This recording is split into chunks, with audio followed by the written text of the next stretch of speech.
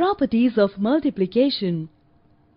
Hello friends, I am Maya and I am going to teach you the properties of multiplication. Some of the properties you already know. Let's take a review of them. First is that if we change the order of the factors then product remains the same.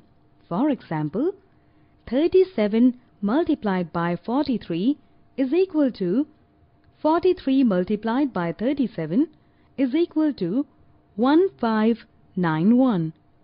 23 multiplied by 31 is equal to 31 multiplied by 23 is equal to 713. Second is that the product of any number and 1 is the same number. For example, 232 multiplied by 1 is equal to 232. 87 multiplied by 1 is equal to 87.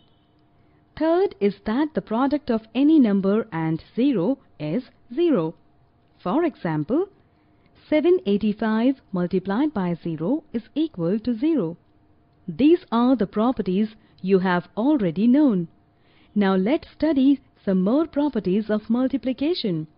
First is that if any number is multiplied by even number, then the product is even. For example, 2351 multiplied by 4 is equal to 9404. 51 multiplied by 6 is equal to 306. Second property is that if an odd number is multiplied by another odd number, then the product is an odd number. For example, 2441 multiplied by 7 is equal to 17087.